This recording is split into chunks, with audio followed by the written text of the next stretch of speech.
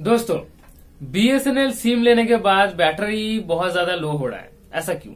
हाँ मुझे बहुत सारे कमेंट ऐसा आ रहा है कि दादा, हमने बीएसएनएल का न्यू सिम लिया है और हमारा स्मार्टफ़ोन का बैटरी जो है वो बहुत जल्दी लो हो रहा है बैटरी एकदम डाउन हो रहा है। तो इसके पीछे का राज क्या है?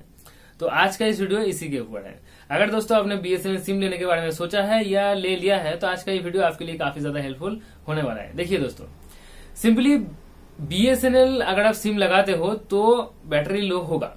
ठीक है? जो लोग चार पाँच साल से बीएसएनएल सिम को यूज़ कर रहे हैं, उसका भी होता है। लेकिन वो लोग उतने अच्छे से नहीं समझ पाए आज के जो बंदे हैं, वो समझ पाए ऐसा क्यों? क्योंकि दोस्तों, जो लोग चार पाँच साल से बीएसएनएल सिम यूज़ कर रहे हैं, वो कीपैड वाला फ़ोन यूज़ कर रहे हैं।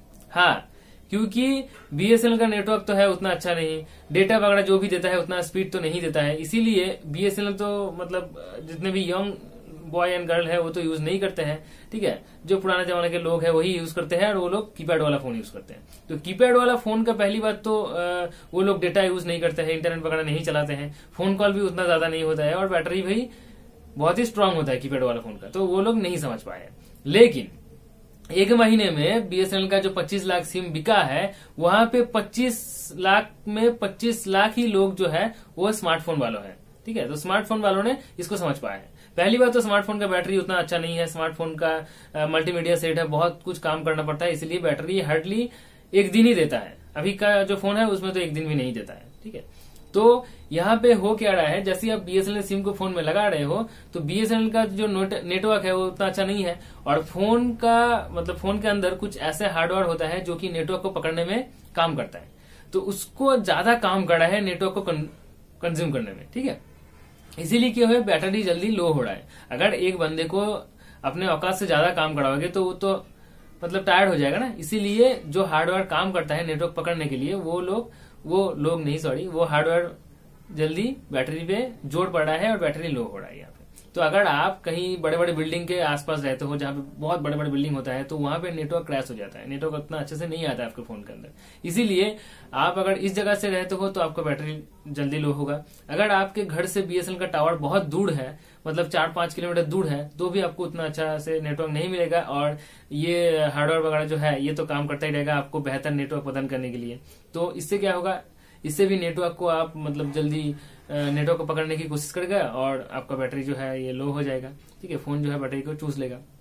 उसके साथ अगर आप बेहतर इंटरनेट चलाने के लिए मतलब अगर आप हज़ार अस्सी सात सौ कुड़ी में वीडियो वगैरह देखना चाहते हो यूट्यूब का हो, कोई मूवी का हो क्वालिटी वीडियो देखना चाहते हो तो आप क्या करोगे? नेटवर्क को जो है डेटा वगैरह को डेटा को ऑन करोगे ऑफ़ करोगे ऑन करोगे ऑफ़ करोगे। अगर आपका बीएसएनएल का ब्रॉडबैंड है घर में तो आप उसको वाईफाई को ऑफ़ ऑन ऑफ़ ऑन करोगे। फ़ोन को भी बार बार स्विच ऑफ़ स्विच ऑन करोगे, बेहतर नेटवर्क पाने के लिए। आप छत में चले जाओगे, आप ऊपर किसी जगह पे चले जाओगे, ऐसे करोगे। तो फ़ोन भी, फ़ोन तो काम कर रहा ही है बेहतर नेटवर्क लेने के लिए। आप भी ऐसा कर रहे हो तो भी ऐसा होगा कि बहुत ही जल्दी आपका फ़ोन का बैटरी लो हो जाएगा, ठीक है? लेकिन डोंट वरी दोस्तों, ये चार पाँच महीने में ठीक हो जाएगा, ठीक है? क्यों ठीक हो जाएगा? क्योंकि एक वीडियो में मैंने बताया था मिनिस्टर लेवल बात हो चुकी है, उस वीडियो को भी वहाँ पे अटैच कर दिया था, बताया था सब कुछ। हाँ ये ये जो बीएसएनएल का टावर्स है, ये इंडिया पे लग चुका है बहुत सारे और अभी भी 2022 में लगने वाले हैं, बहुत लगने वाले हैं, ठीक है? फोर भी लॉन्च हो जाएगा, उसके साथ एक महीने में बीएसएनएल वालों ने एक लाख लोगों तक फाइबर ऑप्टिक भी पहुँचा रहा है। तो फाइबर ऑप्टिक अगर लग जाएगा, बहुत सारे टावर्स अगर लग जाएगा, मोडेम अगर फोर्टी वाट का हो जाएगा, ठीक है? उसके साथ सैटेलाइट इंटरनेट भी अगर हो जाएगा, सब कुछ अगर आ जाएगा तो उतना टावर का प्रॉब्लम नहीं होगा। नेटवर्क का कोई प्रॉब्लम नहीं होगा इशू नहीं होगा। तो आपका फ़ोन का जो बैटरी है, वो लो नहीं होगा। लेकिन आपको थोड़ा धीरज रखना पड़ेगा चार पाँच महीने तो रखना ही पड़ेगा, ठीक है?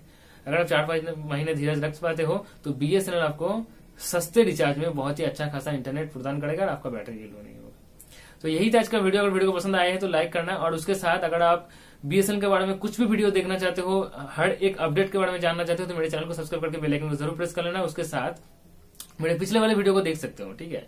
मेरे पिछले वाले वीडियो को देख सकते हो, वहाँ पे मैंने सब कुछ डिटेल्स में बताया है। सैटेलाइट इंटरनेट क्या है बीएसएनएल का किस किस जगह पे मिलेगा सब कुछ, आपका एरिया पे कब तक फोर आएगा, सब कुछ मैंने डिटेल में बताया है, वो वीडियो आप देख सकते हो, इस वीडियो के पीछे है, ठीक है? तो मेरे चैनल पे जाओ और वीडियो पे आप वहाँ पे देखो, ठीक है?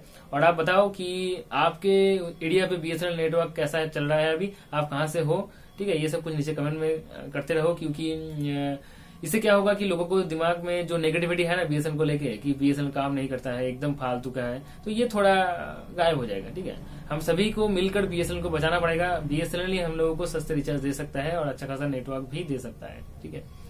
तो चलिए दोस्तों, यही आज का वीडियो कैसे हो, ये भी बताना, ठीक है? बहुत सारे लोग ये तो भूल ही गया है। बहुत सारे लोग इंस्टाग्राम में मैसेज करते थे दादा, कैसे हो? मैं ऐसा हूँ ऐसा हूँ। ये तो अभी बता ही नहीं रहे सिर्फ़ क्वेश्चन पूछ रहा है। तो कैसे हो, ये भी नीचे कमेंट करते रहिए दोस्तों। ठीक है? और कहाँ से हो वो भी। चलिए, आज के लिए इतना ही। Good bye and take care subscribe करके बेल आइकन को ज़रूर प्रेस कर लेना, क्योंकि हर इवनिंग के सात बजे मेरे चैनल पे वीडियोस आ जाता है। टेक्नोलॉजी रिलेटेड खुशी की न्यूज़ चलिए, आज के लिए इतना ही। Good bye and take care